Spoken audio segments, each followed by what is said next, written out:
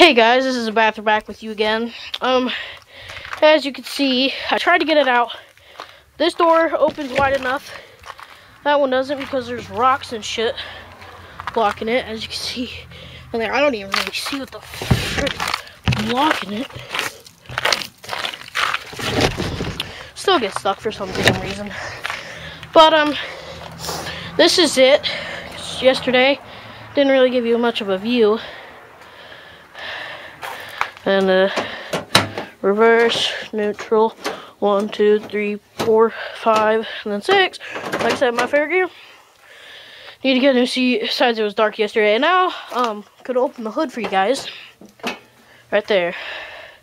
There it is. Right. Um, here, I'm gonna check the oil, see how that is.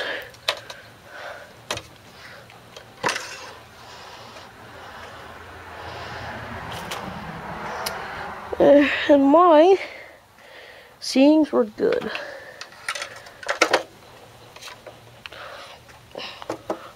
Okay, so um, that's pretty much it. This is the uh, lower the deck and everything. Um, this thing does have headlights right there.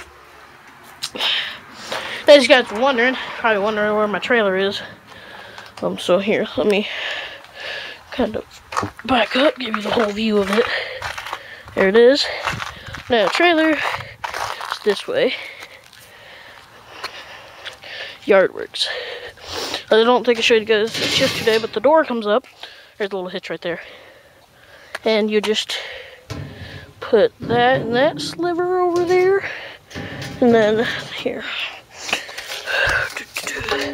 Put that and that sliver right there over there, and then you put it in that and drop it. Um, tires are pumped up and everything. Here, I'll zoom in for you guys.